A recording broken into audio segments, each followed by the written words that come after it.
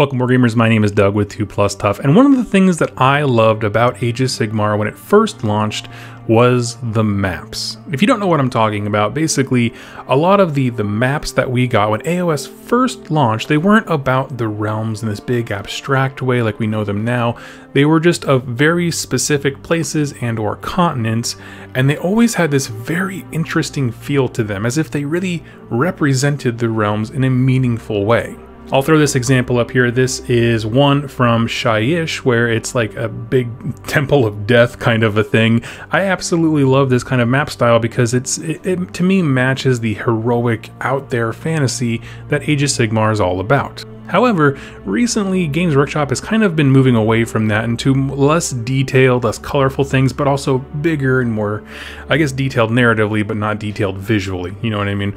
And so, uh, what I was recently introduced to by my buddy Ben over in Virginia was this awesome tool called Inkarnate. And it is a, a map creator tool specifically for fantasy worlds where you can do just that. And so, what I'm going to do in this video is I want to show you what I created for my Nurgle forces and, and the lore behind it and that kind of stuff to kind of give you inspiration as to how you can do the same thing.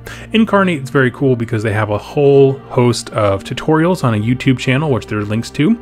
It is a completely free tool, although they do have a pro like paid option, and honestly, it's like 25 bucks for like a year or something like that. It's the best deal on the internet if you are someone who runs RPGs and does this kind of thing, or you like to make narratives and that kind of stuff, it's perfect for that. So, we're going to talk about the, the world that I created for my Nurgle forces, and then I want to give just a very, very light tutorial so that you can try and check this stuff out too. So here we are at the seven paradises of Nurgle. I have seven islands, and of course, if you can tell, I've configured them in a way that matches the classic Nurgle symbol, where you kind of have the peace sign going in the center, and then the three, you know, pustules or whatever on the sides, and one of them I cut in half. Boom, seven pieces. Um, how does this relate to my particular army's narrative? Well, I needed them to be islands because my character is called the Ferryman. He is a nautical based Nurgle army where they transport and explore uh, troops across Ghyran. They explore um, different parts of the realm of life, and they also ferry troops from one battlefield to the next. I'm going to go kind of in a clockwise motion. Again, this is just to give you some inspiration for, for how you can do stuff.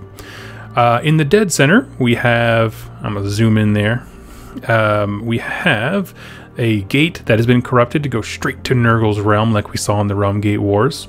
And there's not a lot going on in the island because the land is so corrupted, it just really can't facilitate um, lasting structures and things like that. So we have a few crumbled buildings, some weird flora uh, that's very vibrant towards the south, but gets very morose and, and, dour towards the north. As you can see, these big old willow trees. Um, with some more shredded, torn up buildings up there. And so that's how I wanted to basically center the portal to Nurgle is in the dead center of the symbol for Nurgle. Now going to the right, we have uh, the twin islands of Gloom and Despair. And on Despair, there's of course uh, volcanoes and some cool crystals and a giant pit because of course you have to be able to fall into the pit of despair. And then on Gloom, um, it's the idea I wanted to bring apart um, of Nurgle's lore where it's a lot of focus on hopelessness. And so Gloom is a giant graveyard. You can see there's shipwrecks and different kinds of ruined tombs because I wanted to create that idea of like, it's all for naught, right? It's all hopeless, you know, just give up kind of a thing. It's a very Nurgle approach, or worldview, I should say. Now, as we go down to the bottom right, this is the like the right leg of that kind of peace sign looking thing.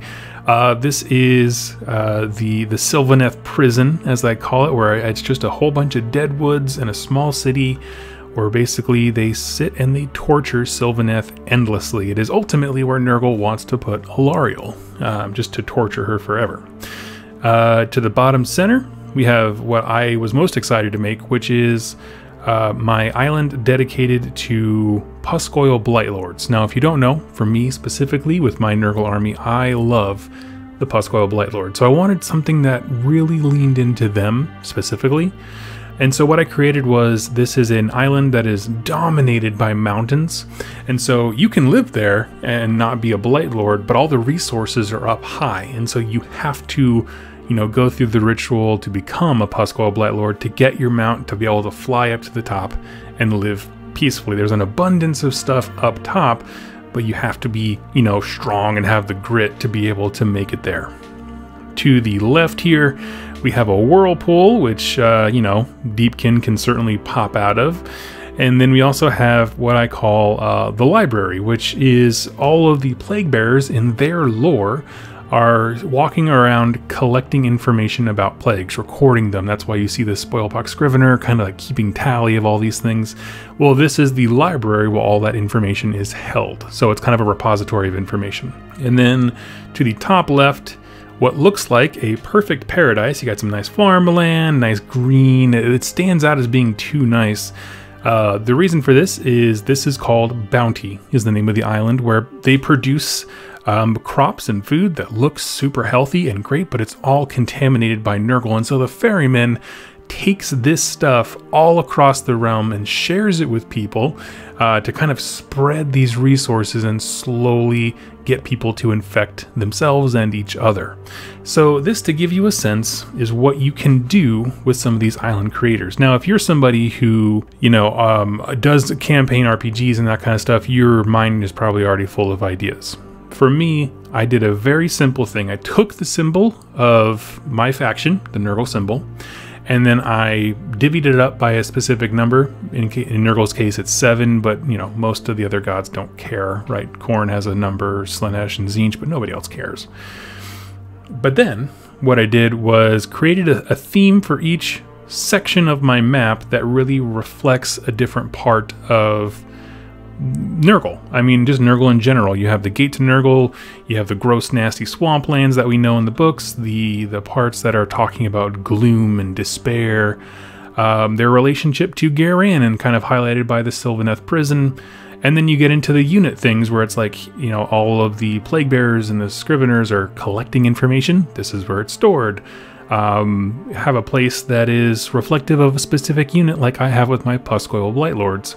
And so this is just kind of, again, a, a kind of a nudge to be like, hey, you can do cool stuff. So uh, what I want to do now, after showing you my island and kind of walking through the different sections of it, I want to do a very, very light tutorial because this is the most accessible tool imaginable, and I want you to be able to play around with it as well.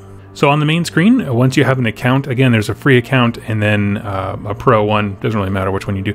You can create a new map, and you get are greeted with a few options. These are all just for basically determining how um, large you want your map to be. Everything from a top-down kind of view, like you were playing an RPG, uh, which you can include a grid on, so you can actually map where your character is, all the way to like old world style maps like this, uh, which you can see. But we're gonna go with the one that I just worked on here. And you can choose the size of your file type and you're introduced to a big ocean. Now, cool thing about this is uh, I chose to have mine be a chain of islands because, frankly, my guy's lore is that he is island based. But if you go over to the right, or you know, he's nautical, so he needs an island. If you go over to the right here, you can actually uh, change how much of the ocean there is. So you can go to one ocean and generate new world. Me try this. There we go. Took it a second. But yeah, and so here we are. Now it's an entirely land thing. You can do as much or as little water as you want. And it will auto-generate a world based on this. Now, of course, if you go, you know, all the way to water, you can get rid of this, you can start over, do whatever you want. But let's let's stick with this for now. On the left here, you have what's called the mask tool. And this is really, really interesting. All these things, if you hover over them, have great instructions to kind of give you a sense of what you're doing. Um, the background is ocean by default. The foreground is land. So we're going to draw some land here with our masking tool. And what's cool is the second I let go of this mouse, it's going to create ocean shores. Boom, look at that. Isn't that sweet? And so now that we have this cool Snake Island, let's say it's a Daughters of Khaine, you know, they got snake themes going on for days kind of thing. Let's uh, start playing around with building it up. Now, this is not that awesome, right? Creating just a, a landmass over water, not super impressive. That's why we go to the brush tool.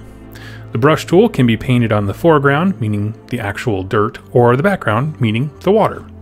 You go over to the right and you choose your texture, of which there are tons. There are tons of textures in this system, guys.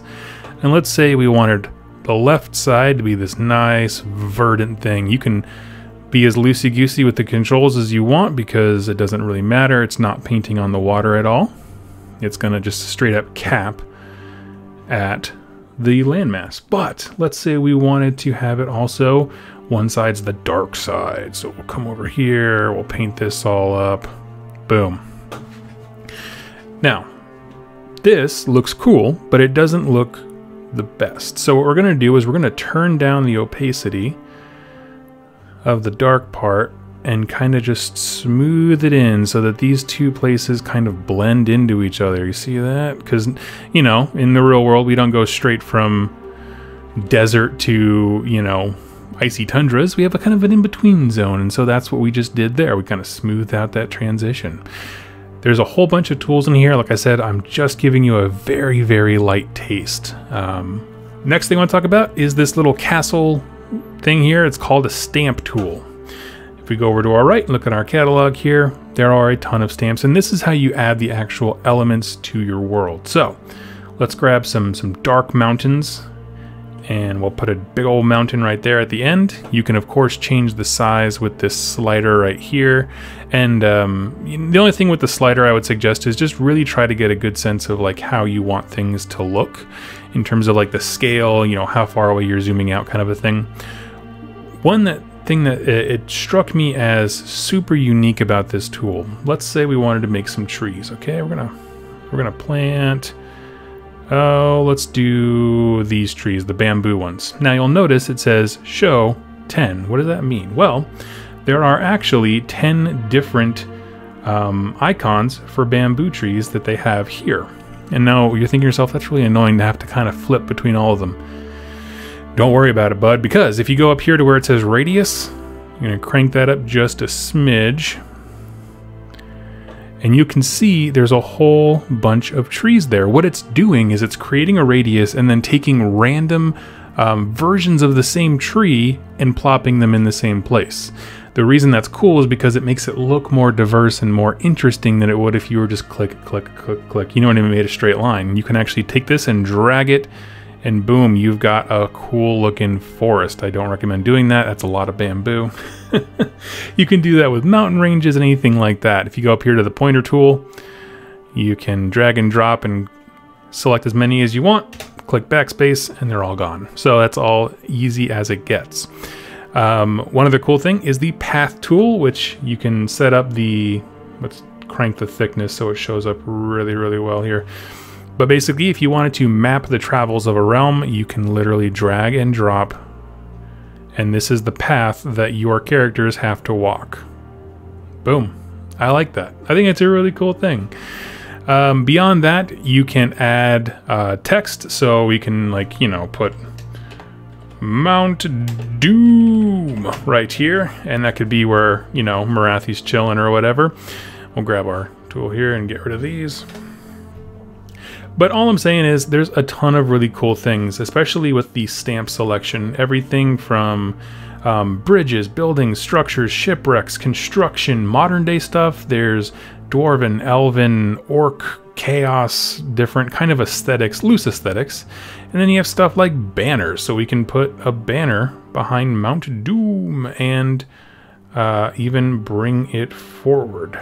There we go. So now it's covering up the top of the mountain, which obviously you wouldn't want to do, but it totally works. So friends, that is Inkarnate. That is the tool I wanted to show everybody and how I made my Nurgle Islands. And frankly, I'm to be playing around with this thing like a lot, like a lot, a lot, because it's really fun to just kind of world build, especially when, you know, the rums can be so abstract that you want to put your own flavor in Games Workshop gave us this huge sandbox and then some really out there landscapes in the beginning, and now they kind of eased off, as like, off of that. But I'm like, no, I want this. This is what I want so bad. So I'm going to keep creating uh, different kinds of worlds and stuff like that and posting them online. And I'd love for you to do the same. If you do, go ahead and tag me in them over on Instagram. Specifically, I use Instagram the most of all social medias, and uh, I'd love to see what you guys have. Thank you all so much for watching. Happy Wargaming.